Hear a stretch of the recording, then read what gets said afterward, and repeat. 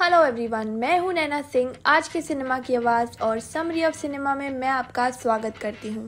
Part one में हमने आपको बॉलीवुड फ़िल्म इंडस्ट्री के डर्टी सीक्रेट्स के बारे में बताया था और अब पार्ट टू में हम आपको और भी कई डार्क चीज़ों के बारे में बताएँगे जो आपने पहले कहीं पर भी सुना ना हो।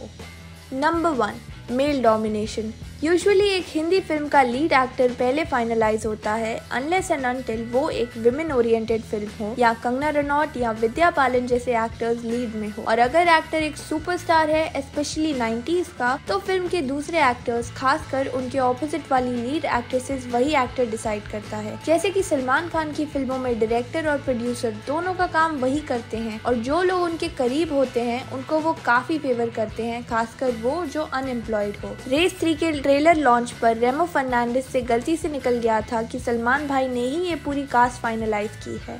नंबर टू पापराजी रिपोर्टर्स को मॉल्स एयरपोर्ट्स होटल्स और सिनेमा हॉल्स के बाहर होना, जब कोई एक्टर या एक्ट्रेस या दोनों बाहर आने वाले होते हैं, ये सब एक पीआर स्टंट है। इन्हें पहले से ही इन्फॉर्म किया जाता है बट बीइंग एक्टर्स वो जानते हैं कि कैसे रिएक्ट करना है। तो वो सरप्राइज़ और शॉक एक्ट करते हैं। वो अक्सर इग्नोर करने की कोशिश करते हैं, अपनी कार में बैठ जाते हैं। वो दिखाते हैं कि जैसे उन्हें पता ही नहीं है कि पापराजी को कैसे पता चल गया बट फेम और अटेंशन के लिए दे just ten number three award shows आजकल एक्सेप्ट प्रेजेंटर्स परफॉर्मर्स और न्यू कमर्स बाकी सब जो अवार्ड शोज़ अटेंड करते हैं, वो विनर्स ही होते हैं। ऑलमोस्ट सबको पहले से पता होता है कि वो जीतने वाले हैं। इसलिए हम देखते हैं कि पाँच नॉमिनेटेड एक्टर्स में से अक्सर सिर्फ़ विनर ही प्रेजेंट होता है और बाकी वह होते ही नहीं है। पहले ऐसा नहीं होता था। और last not the least wifes के सीक्रेट्स काफ़ी एक्टर्स की वाइफ्स अपने हस्बैंड्स के अफेयर्स के बारे में अवेयर होती है, लेकिन अक्सर वो इस बात को एक्सेप्ट कर लेती है बिकॉज़ उन्हें लग्जरी ग्लैमर और पॉपुलैरिटी जो मिलता है, एक सुपरस्टार की बेटर हाफ़ बनने का, उन्हें वो सब चीज़ें पसंद आती है। फ़िल्म इंडस्ट्री में marital affairs unmarital affairs prosecution money laundering tax evasion